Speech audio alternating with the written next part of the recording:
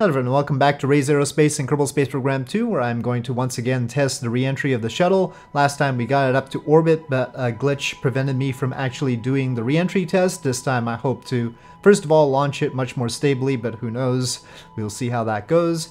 And then try to bring it back down again.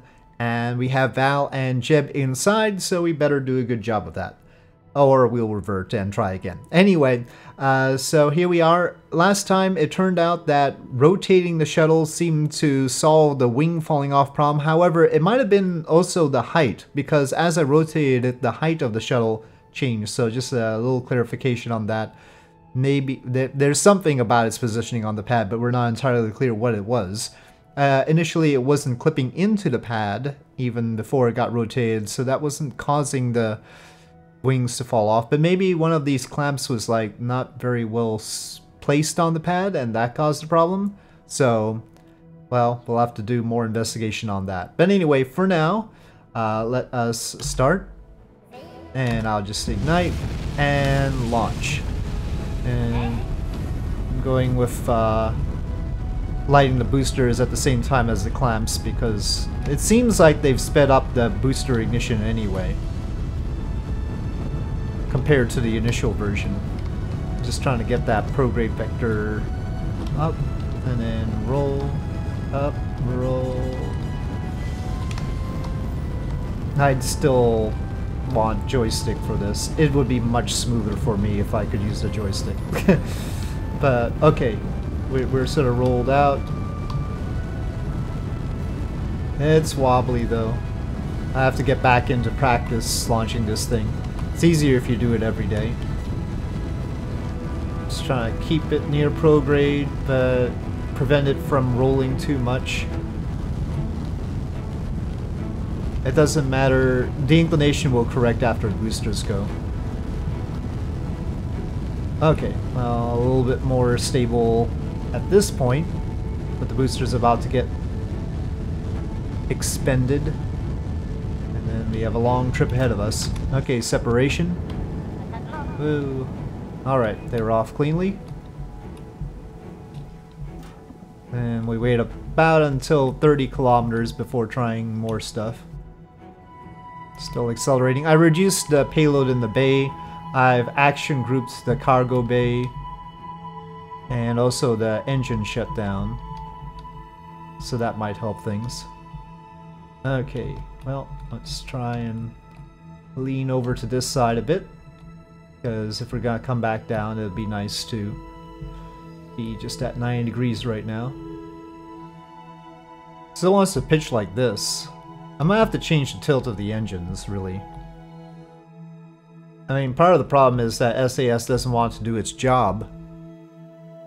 Right? I mean, the engines can tilt so that we stay stable. But then when I let it go, it starts doing this. SAS could stop that because there's enough gimbal to do that, but it doesn't. okay, we were going too high on the apoapsis. Well, we still expended the external tank this time. Not an optimal flight to orbit, but alright. Prograde.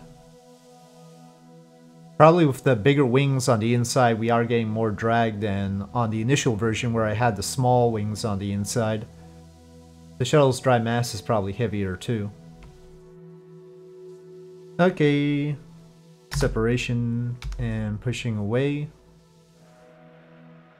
And there goes the external tank. We could try to lighten up the monopropellant, the monopropellant we don't use in there.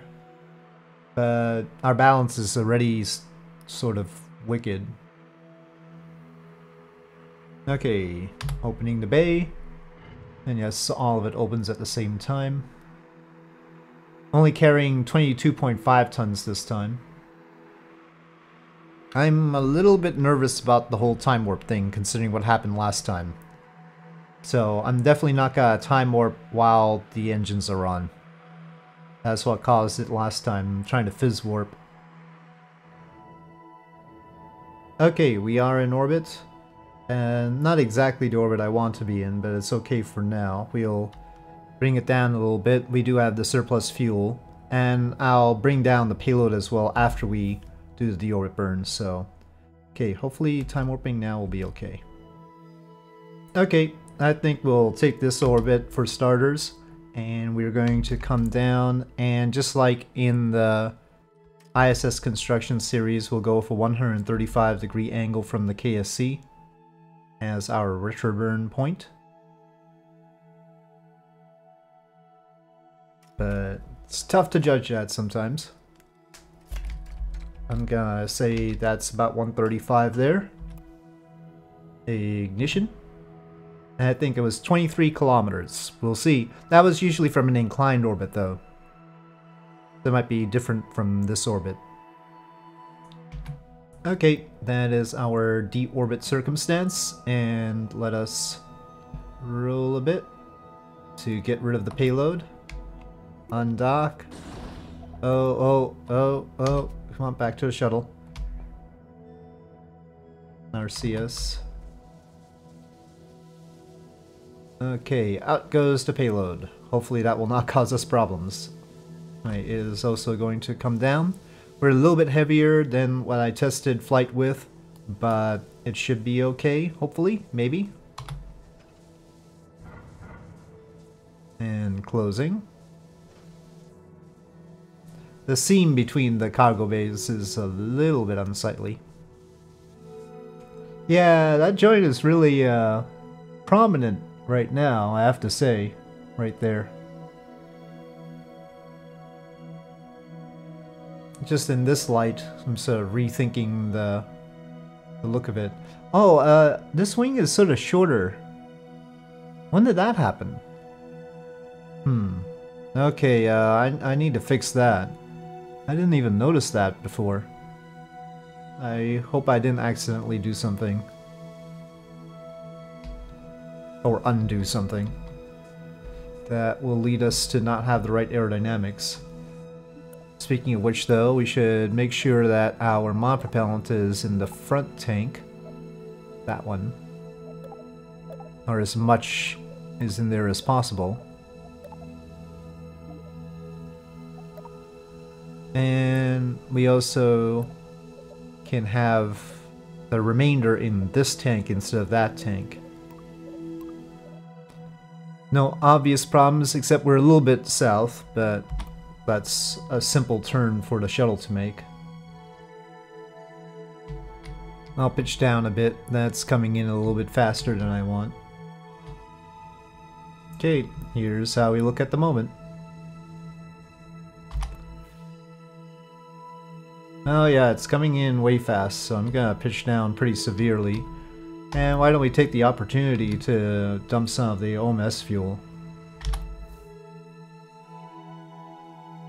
Okay, I'll cut the engine for now.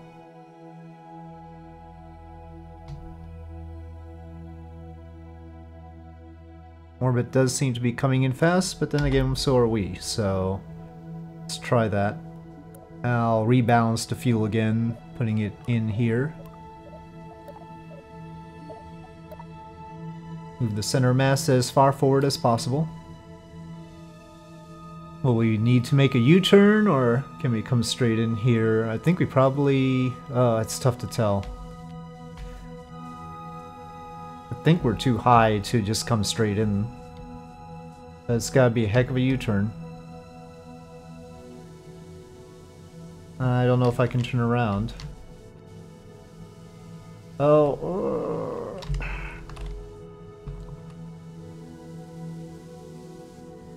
Well, we've lost a lot of speed. We're not losing enough height.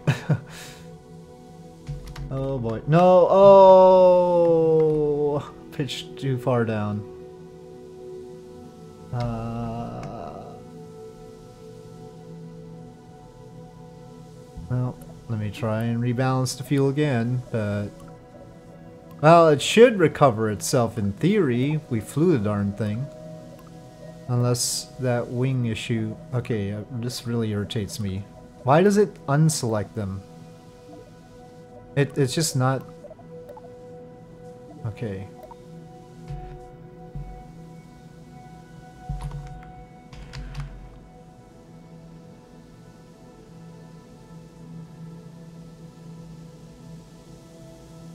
I mean, we just stalled out. We went too slow at too high a height.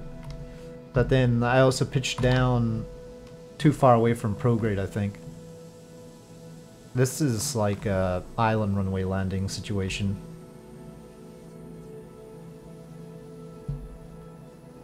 I don't know if we'll get there. Ooh, ooh, ooh, I pitched up too high. I pitched up too high. Oh, we're stalling again. Again, joystick would be nice. Okay, don't pitch up too much.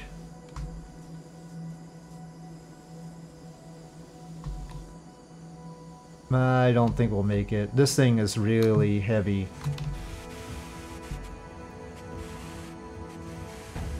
When it comes to gliding.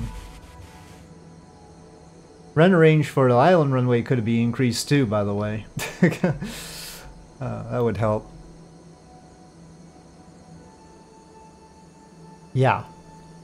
I would really like an increase to the run range of the island runway. Gosh. Is it even clipped into the ground or something? It's just horrible.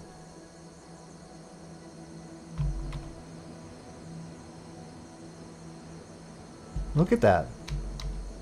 What am I supposed to do with that? Okay, well, hopefully we can get the gear down without this ripping apart.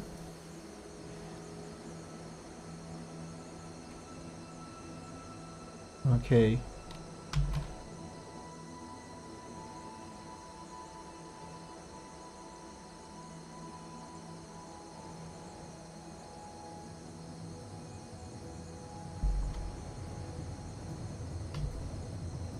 Whoa, whoa, don't go too far. Oh, you went too far.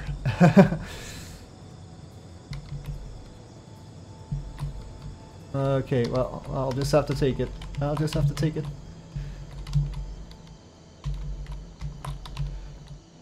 Uh, oh, bounce. Brakes. Are we on the ground? No. Oh, oh no, oh no, I did bad things. Oh, that was my fault. We were so close. Hmm. Yeah, but it's tricky to handle on reentry. Well, that was the first full reentry test in this version of the shuttle. well, it survived reentry, it didn't survive my landing. Uh, but then again, island runway bad. But yeah, we were running out of it too. So we will have to see about getting back to the KSC a little bit better than that. But it's a little bit wobbly. And I mean, it's a little bit wobbly on landing. It's also wobbly on liftoff, obviously. I think I'll have to tilt the engines a little bit. And I'll see, I'll fix the wing. That was a surprise. I don't know if that caused any problems. But it's very touchy. Uh, somewhere between, uh, anywhere between say 600 meters per second and 1500 meters per second, it's really touchy. And that's when I really want to turn in order to get to the KSC runway. And since it's touchy, that causes problems. So more practice necessary. Uh, Jeb and Valentina will have to be resurrected. And that's how it is. Unless they're they're like right there. Nope, those are the RCS trusses. Alright, so with that, thank you for watching. I hope you enjoyed this video. If you did, please do press like. If you have any comments or suggestions, please leave them in the comment section below. And I'll see you next time.